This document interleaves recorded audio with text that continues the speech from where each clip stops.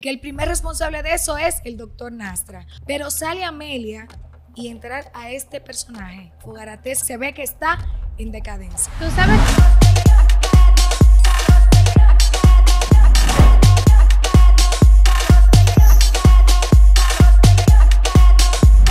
Señores, eh, llegó por fin quien va a reemplazar a Amelia Alcántara en el programa Fogara Fue.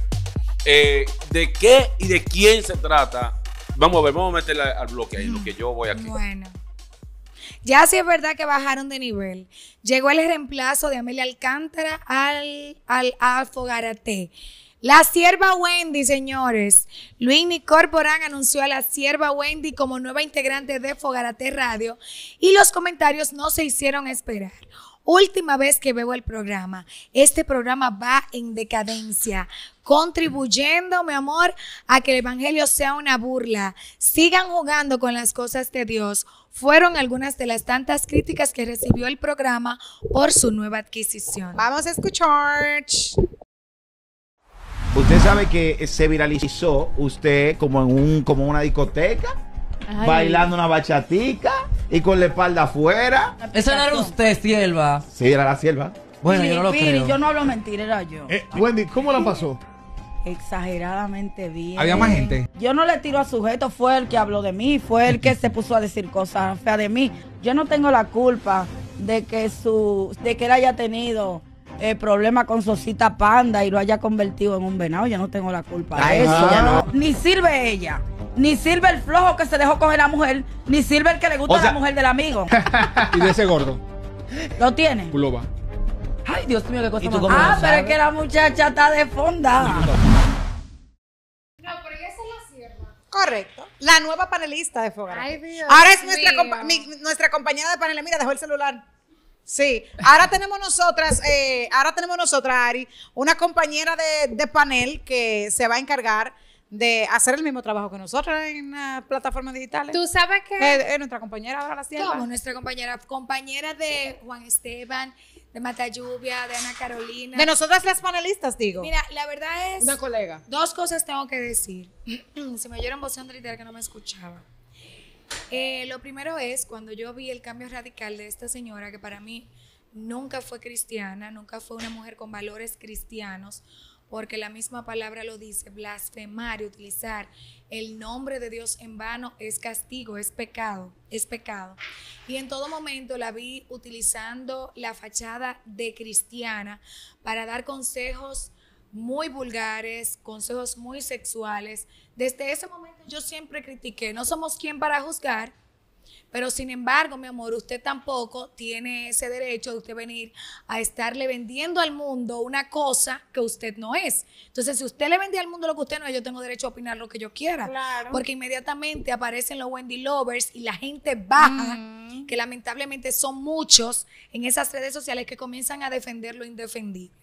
Esa es la primera parte, ver cómo esa mujer utilizó el nombre de Dios en vano para venderse, porque lo que vende es la controversia, utilizando ser o parecer cristiana para vender toda su vulgaridad y eso es lo que conecta con la gente, porque le dice, pero, pero ¿qué es lo que esta tipa dice? O sea, eso es lo que llama la atención de un público.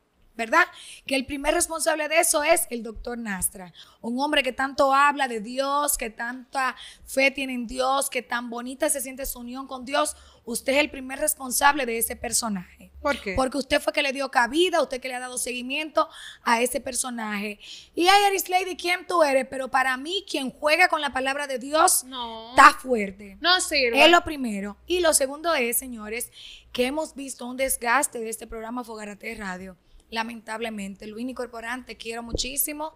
Eh, valoro el esfuerzo que haces, pero tienes que evaluar qué está pasando con tu plataforma. Empezaste con un engagement, con unos talentos, cada quien ubicado, sabiendo dónde estaba, uno que otro que no encajó que lo tuviste que mover por X o por Y muy bien. Yo fui una que en el momento en el que vi que Amelia te estaba faltando tanto el respeto, yo dije, no, o sea, usted no puede permitirle eso a un talento porque sobre todo tiene que haber respeto y que cada quien sepa dónde está. Pero sale Amelia y entrar a este personaje, a esta figura, a tu plataforma, no lo digo yo. Es lo que se ve, es lo que se siente y es lo que ha entendido el pueblo. Fogarate se, va que está, se ve que está en decadencia. Tú sabes que es mejor que ella diga que ya ella no está evangelizando, porque por más que, que sus críticas no sean despectivas, ella va a estar en un ambiente que, que es de, de- bajeza, criticando al otro. Entonces es mejor que ella diga, no, ya, ya, ya no soy evangelista, ya yo no sigo a Dios, ya ella se metió al mundo. Porque aunque tú estés diciendo, por ejemplo, eh, va a llegar un momento que una de nosotras o cualquier panelista de cualquier programa le va a tirar a ella, entonces ella le va a tener que responder. Y por con más altura que ella lo haga, como quiera, va a estar faltándole respeto a la otra persona. Va a seguir un chisme y eso no es, y eso no es de Dios. Obi. Y la sierva Wendy no es la excepción. Pero más malo es. ¿Cómo que se llama? Luini. Luini. Primero porque eh, él es un. El que, el que peca conociendo el pecado, peca doble. Luini es un muchacho que estuvo dentro de los. De los, De los caminos de los cristianos. caminos cristianos. Lleva a la sierva, bueno, con eso que tú estás comiendo. No es que la sierva Wendy está haciendo lo mal hecho, no es que no es, es permitido, pero la línea del programa, el concepto que ustedes llevan no es el más adecuado para tener a, a la sierva Wendy en debates, en debates que en ocasiones se tornan un tanto sangrientos en cuanto a, en cuanto a las palabras.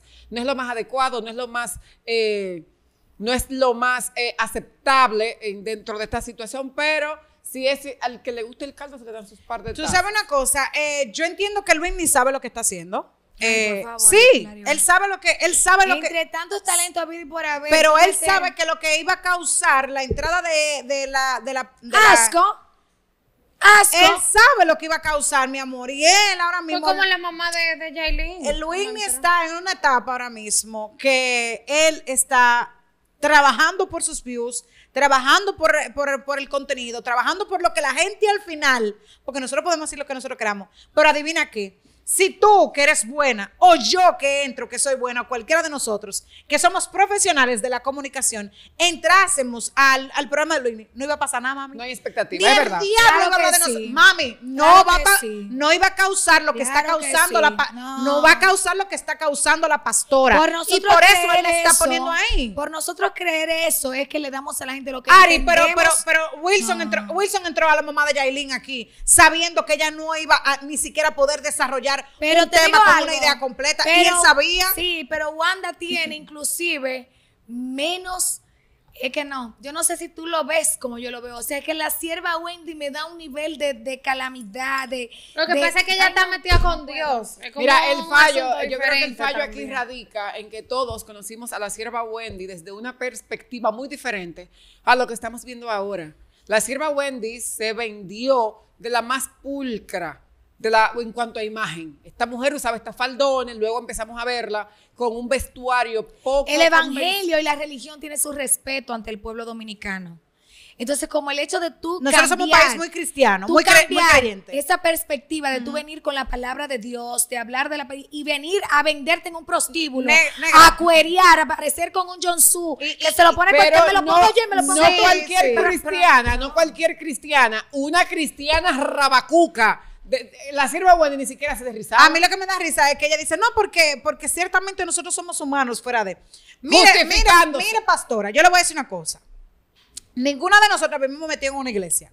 Y yo le he puesto a usted que mi oración, y no estoy poniendo en duda quizás qué tan poderosa sea la suya, pero yo le he puesto a usted que papá Dios le va a hacer más caso a la oración mía que a la suya. Porque es que lo de usted no viene del alma. Lo de usted no viene del corazón. Lo de usted viene para, para usted lograr notoriedad, para usted lograr popularidad. Y es lo que ha alcanzado. Porque usted sabe quién es el culpable. El público que consume lo que usted hace. Por eso te digo que Luis ni sabe lo que hace. Porque lamentablemente ahora mismo quien, quienes son los culpables de lo que se presenta en las plataformas digitales es el consumidor.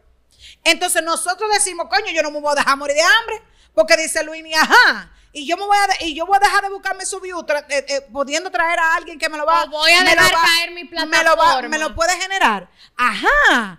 y es fácil, lo que pasa es que ahora somos capaces de hacerle morcilla al diablo, de volarle la cabeza a quien sea y de hacer atrocidades en las que nosotros quizás nunca nos imaginamos que pudimos haber hecho, pero es por detrás de los views, porque usted que está ahí atrás, el que consume toda esa basura. Pero no vamos a dejar morir. Hay mucha gente que me dice a mí, que, ay, tú dices que a ti no te gusta pertenecer al lodazal, pero tú estás ahí, adiós diablo, y usted me va a pagar la renta. No, pero- y la leche del muchacho mío, ¿usted me la va a pagar? No, tengo que involucrarme más porque no, hay No, pero forma. hay que estar claro que esto es un negocio, eso sí. A eso me refiero, es su negocio. pero visualmente, un proyecto que se veía y se encabezaba con Sin Filtro Radio Show, con Alofoque, o sea, un, un, un proyecto que se veía encabezando. Que se veía, competi- con- se veía competitivo, nivel se veía competitivo. competitivo, elegantón, está así, ve.